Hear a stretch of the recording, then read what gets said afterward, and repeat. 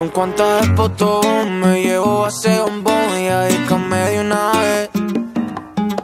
Vaya que imaginación que tiene la chamaquita y ese floater. So, building apps can be both difficult and time consuming.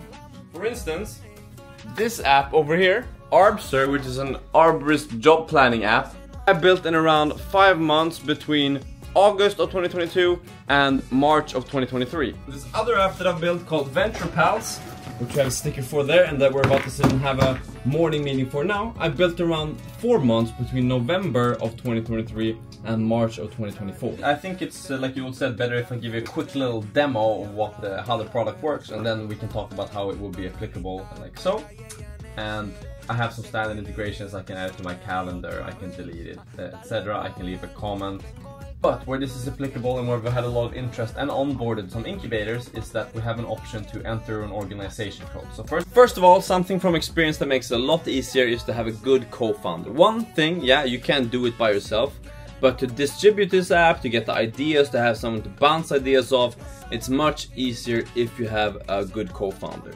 I've noticed this from building my own apps. One, it's less easy to be accountable, but it also it's less easy to test it because you gotta test it yourself, you already know how it works, and the people who you reach out to for beta testing, they're usually not that dedicated. But if you have a co-founder or someone who's got some skin in the game, they're much more likely to give you honest feedback, real feedback, and help you develop that product into something good. Speaking of which, we're now gonna speak to my co-founder, Joel, who's in the Netherlands. What's poppin'? Yo! How are you? I was just telling YouTube about uh, the importance of having a co-founder. Oh yeah, sick. Yes, yeah. sir. So you got you got some cred there. Another thing which you will need to consider when building an app is that you will need to put in some hours. It doesn't necessarily need to be years or many many months, but in that short time period you will be able to or you will need to be able to put in some hours spending time coding building this app. For instance, let me show you what I did during February of this year.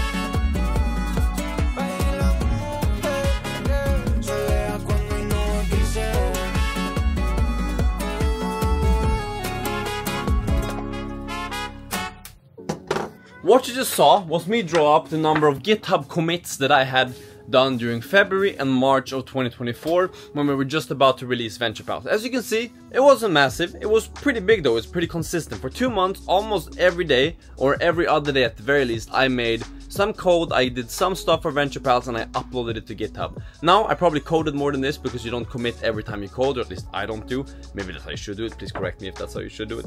Uh, but as you can see, I was quite committed and I spent quite some time uh, doing coding. So you should be able to, or you should be prepared to at least, dedicate a certain amount of time to coding. So this is not a video which is like how to quick fix, uh, get this coding done, how to quick fix, uh, get an app done in five minutes or no this is more of how you can speed up your development process and use some cool tools in order to be able to build an app as fast as possible that doesn't mean you can take shortcuts that doesn't or that doesn't mean you can take massive shortcuts that doesn't mean you will learn how to code in this amount of time and that doesn't mean that you will be able to uh, just entirely skip out on certain steps of this process. But now it's 7 o'clock at the office, we're gonna head home. I've been, but quick day for YouTube, but uh, a long day for me. I've been here for like 11 hours now. So we're gonna go home, we're gonna finish up this, we're gonna do some work on Rumi, and we're gonna bake some bread. Let's do it.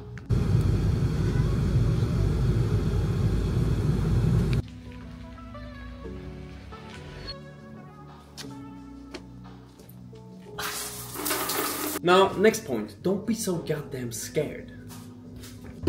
Things can go significantly less wrong than you think. Just fuck up, like me making bread for example. Look at that. The strength of a lot of startups and a lot of companies is that they're able to innovate fast and they're able to do change things and move things quickly along. So if you have an idea for a solution to a problem, just try it. You can always switch back later if you're using Git management, for example, and don't stress it so much. I've used this a lot for my past couple of apps. So if I look back now in my version history, for my first app, Wonder Sagas, I had four versions before I launched it to App Store. For Arbster, my second own fully my own app, I had 18 versions before I launched it to App Store. For Venture Pals, the latest one, we had 47 versions before we launched it to App Store. So you take something, you iterate a little bit on it, you test it. You take something, iterate a little bit on it, you test it.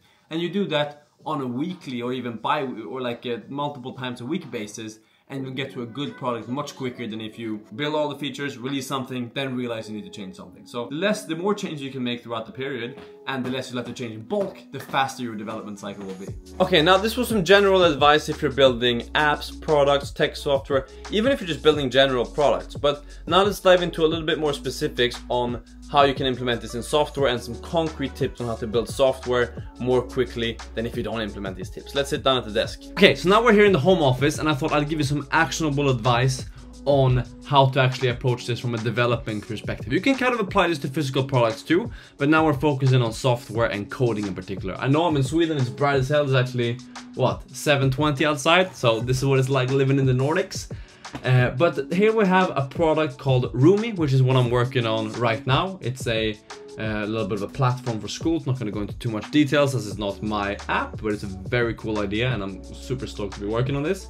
So currently, uh, one thing which you can do, or which one thing which you need to do when developing something like this, is you need to base it on a UI model. So for example, here we have one for Roomy, here we have some of the other things that I've worked on, etc. But when I built Venture Pals, for example, which was the app that I talked about today, we have this now for the future iterations that my uh, girlfriend has actually made. She's a great UX designer. If you need to hire one, then hit her up for sure.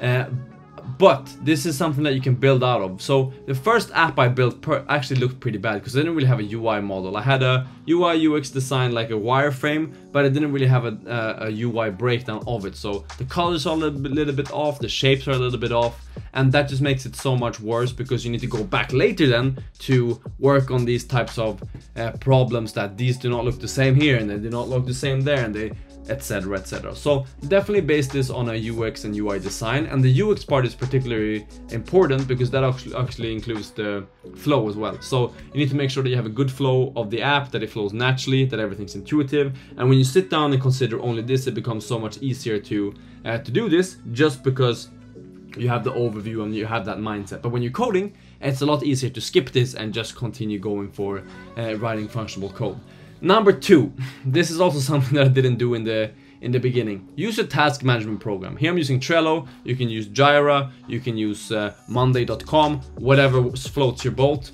but I'm using Trello now for Venture Pals. And this is you can keep track of all the things which you've done. You can put things in the backlog. You can now we're gonna start a new sprint this week, so we're gonna be removing we're gonna be moving stuff over to to do, for example, just so that you can keep track of all of these things. And this is gonna help you tremendously uh, both short term and long term because one you'll be able to see okay how I prioritized before and how can I take this into consideration when making new features but also it's going to help you keep track of all the things which you need to do. So you will then according to what I talked about earlier you will iterate you will release you will test and then you put it in the backlog. Then you come back and you look at all these things in the backlog and you prioritize and you will drag them to that to do for example then, next up is database design. This is something which you need to do before you develop your product. And if you don't do this properly, this can actually ruin your whole project. So make sure that you set up your tables. For example, if you're using SQL or if you're using Firebase, this principle is the same. Make sure you set it up in a way that all of the assets which have access to each other do have access to each other. So for example, in this app's case that I have on the screen here, it will be that all of your classes have tasks within them and within those tasks there are particular events that they're connected to and that all of these different tables are connected to each other in certain ways so that you can uh, so that you can uh, get them from each other. So for example, uh, the orders table will have both a customer ID and an employee ID and a product ID in this example that we have here, meaning that you can fetch orders both from products, from customers, and from employees, uh, regardless of which direction you go in. So how that becomes applicable, for example, in the app that I'm building here, is that one person may have some events that are connected to pre-K and some which are connected to kindergarten. How can I fetch then all of my tasks, for example, from uh, both kindergarten and from uh, pre-K, for instance? So that's something which you really need to consider and if you don't do this properly this can really slow down your app in the future and it can also just lead to uh, messy querying and you having to redo this later. So if you want a fast development cycle make sure you do this from the beginning. Now one thing which is cool these days is that we have a lot of these uh, cool AI features. So I've found so far that ChatGPT 4o is not super great for uh, coding new stuff, but what it's great at is breaking down code and explaining it to you. So if I paste this and I say explain this to me, it will break down my whole uh, function here and it will explain uh, what's working, what's how it's working, etc. And then what it's very good at is inferring how this is meant to work. And obviously, since this is based on a lot of data that's available in regards to Flutter code, and I imagine this works for other code too, uh, it can really help you break down some issues. So one issue that I'm currently working on now is that for when I select these things, I query this fine, but when I make it class specific, that doesn't really work for pre-K. For some reason, when I try to query the pre-K classes, I get only the kindergarten uh, tasks. And this is something that I need to do. So I can describe this. Uh, I am having slash in load for the second option in the list builder. Now I'm spelling horribly. Any ideas why?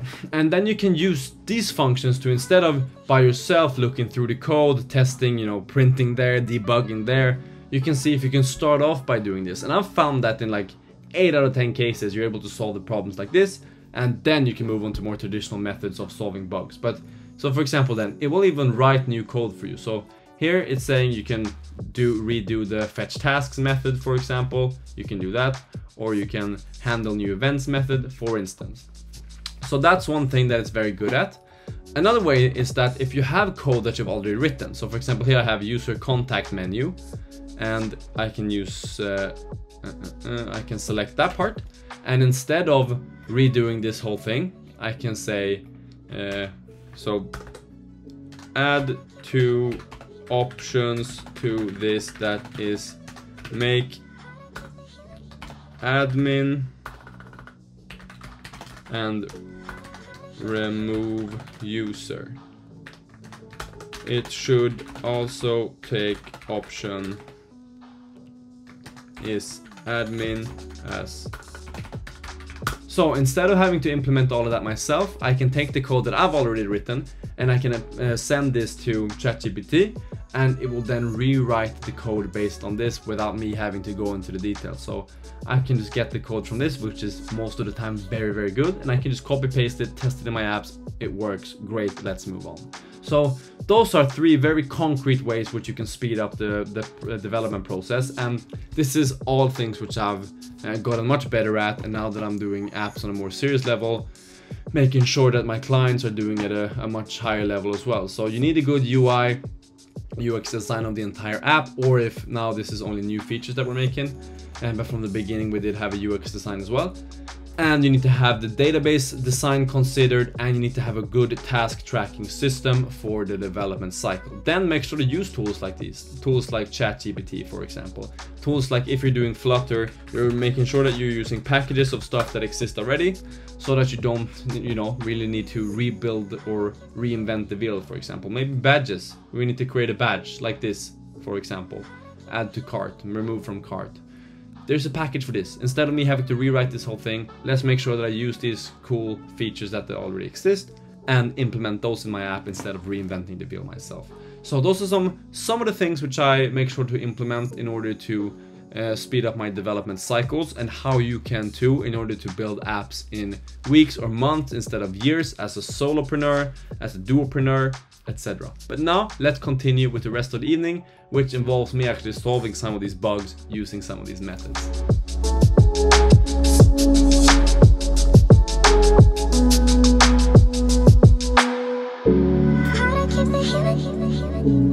Okay, it's a couple of hours later. I'm quite tired. It's one o'clock in the evening and I'm waking up at six tomorrow. It is what it is. I'm gotta do better for myself. It's not good in the long term.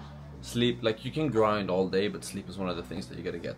On a more positive note, I have made some improvements. So now we have a pretty nice looking app here that's ready for an alpha version submission. So this now works.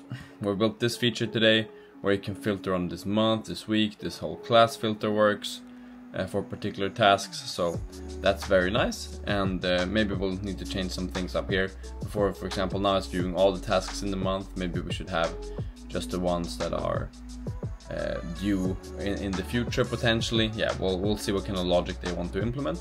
And the event features works as well. You can see the tasks there. You can go to the event view. You can manage your classes.